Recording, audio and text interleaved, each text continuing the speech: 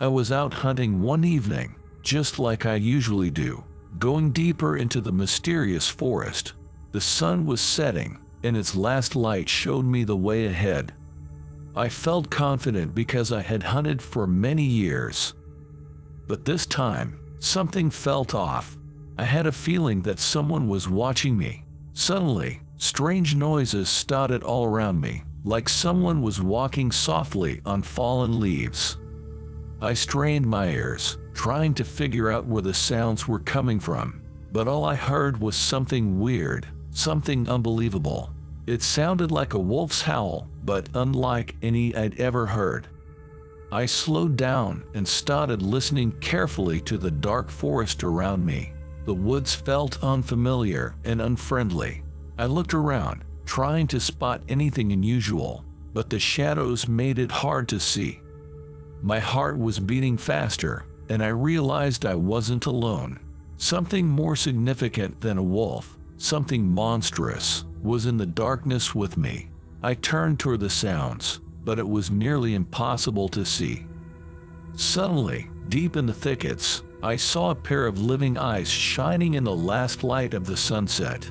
The eyes looked like an animal's, but they had a strange intelligence, something human. That's when I understood that this hunt, which had started as a regular one, had become a nightmare. I wasn't alone in this forest, and I was in danger. As I stared into those strange eyes, I slowly stepped back. I saw a strange man's shape among the trees for a moment.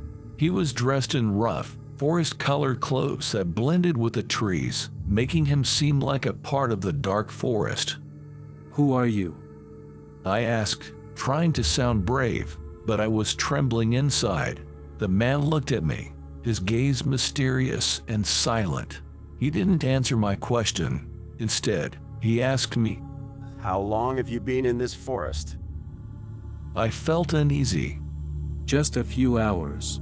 I replied, not sure why it mattered that I had arrived recently. The man nodded, but his eyes stayed on me. What are you looking for in this forest? His question sounded like he already knew the answer. I felt a strange sense of unease. I'm looking for peace and some prey for dinner. That's all I want. The man smiled with a bitter, eerie smile that sent me chills. Do you think you're alone in this forest and control it? His words made me wonder. I felt that this forest held secrets beyond my understanding. What are you? I asked, afraid of the answer. The man slowly came closer, his hand touching my cheek. He smiled and said, We are the forest. We know when others enter our world.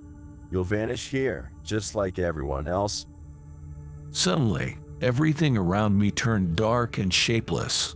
I couldn't see the strange man anymore, but I realized he was part of the forest, just like everything else.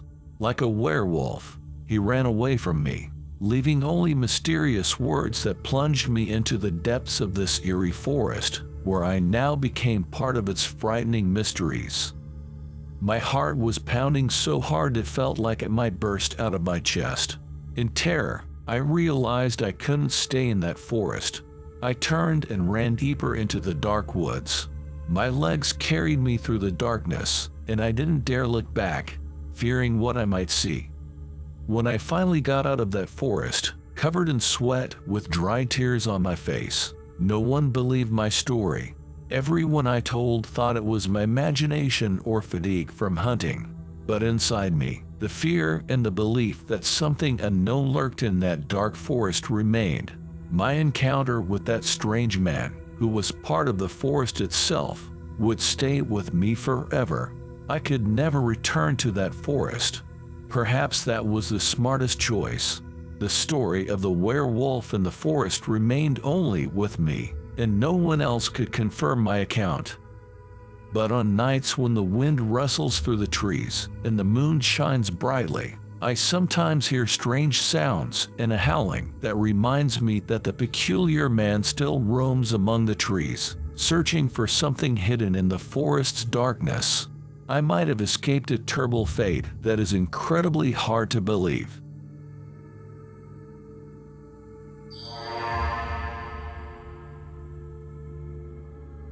I was 16 years old, and the story I'm about to tell you happened to me 15 years ago. During the summer, after a long day, my friends and I often went to the railroad tracks to line the grass on a hill and watch passing trains.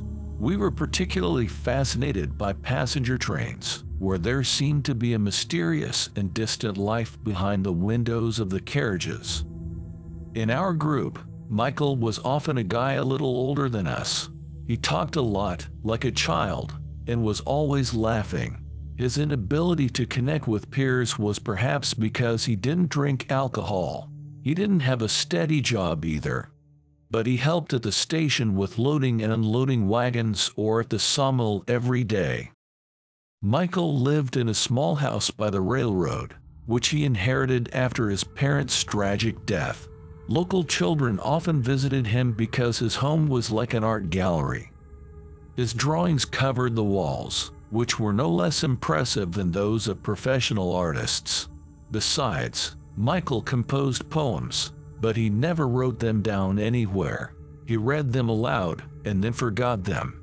However, his love poems often made women at the local station cry, and they said it was time for him to get married. But Michael was afraid of women and avoided serious relationships. He was a virgin, and his unusual appearance long, unkempt black beard and never cut hair made him even more mysterious. Despite his strange appearance, Michael was a kind and gentle person. While we were watching passing trains one summer evening, a woman jumped from the last carriage. Her appearance stunned us. She sat on the railroad ties, stood up and started looking around. When she turned towards us, we noticed her small fangs, giving her smile a wild and airy look. Then she ran into the forest, disappearing among the trees. This event changed Michael. He became silent and withdrawn, spending a lot of time drawing the woman with black hair and fiery eyes. Our stories about the mysterious woman circulated throughout the village, but no one believed the tale. After a strange incident, terrifying things started happening. People from the village were disappearing, and it was scary for everyone there. One day, even in broad daylight, a girl went missing. She had gone outside to play with her friends, and although she cried for help, no one saw her again. Search parties went into the forest, but they found horrifying signs and bloody clues, with no sign of her body. More and more women and children were vanishing, and no safety measures seemed to work. The town was in a panic, and people were afraid to go outside, even during the day. Authorities imposed a curfew, but it didn't stop the disappearances. Despite all this, Michael kept spending time in the forest. He became gloomier and there was something eerie about him. He stopped talking to others and locked his doors to keep people out. His old friends and neighbors sensed something was wrong but were too scared to approach his house. By late autumn, fear had paralyzed the town. Women and children hardly left their homes, and the streets were empty at night. However, even the curfew couldn't stop the terrifying events. People heard screams and cries from the forest, but no one dared to search for them. But everything changed one cold winter night. Michael's neighbors saw a strange light coming from his house, so they decided to check it out. When they entered the house, they found his lifeless body inside, while his head was on a windowsill, looking horrified.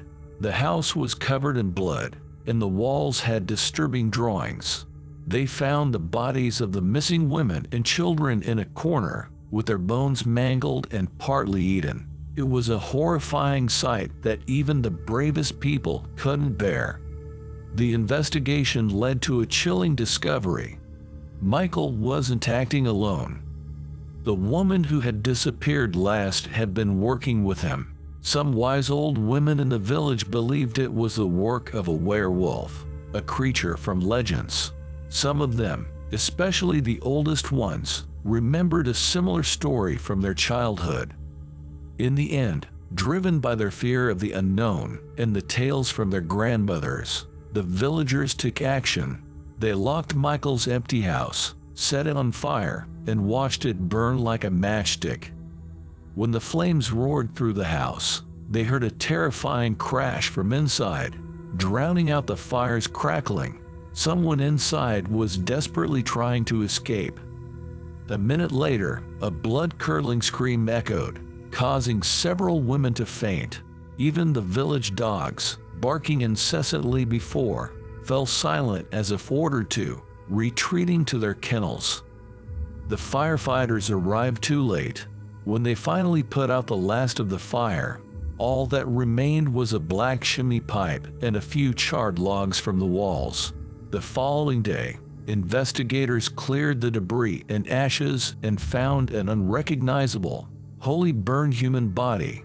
It was impossible to determine the person's gender, let alone their identity. But one detail stood out. Among the teeth that had survived in the charred jaw, there were two fangs, something unusual for a regular person.